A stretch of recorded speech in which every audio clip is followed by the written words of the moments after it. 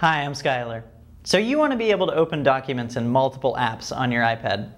Well, the first thing I would do is think about what sort of word processor you're going to be using. If you're starting off in Pages, I would use iCloud to synchronize your documents to your iPad. If you're working in another environment such as OpenOffice or Microsoft Office, check out iPad, or Dropbox rather. So slide to unlock and hit up the App Store.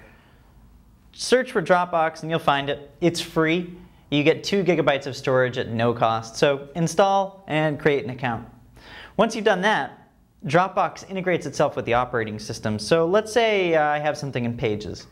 I go to Pages, and this was actually synced from iCloud. So I'll tap here in this folder and tap the document.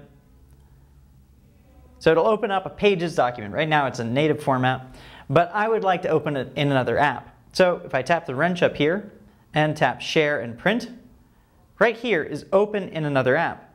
Tap that and decide what format I want to use. I'm going to go ahead and try Word.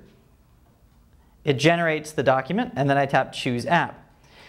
It asks what I want to use. Dropbox is right in the middle, so I tap that and Dropbox opens up.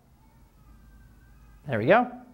It asks if I want to save it to Dropbox. It asks which folder I want to use so I can put it in any one of my folders. Tap Save. And now optimalcreativity.doc is in Dropbox and viewable. Now that it's in Dropbox, I can do pretty much whatever I want with it. If I want to share it, I can do email, text message, Facebook message, etc. You can do a lot of this stuff with iCloud as well, but Dropbox is accessible a little bit more universally. There you go. I'm Skylar. Thanks for watching.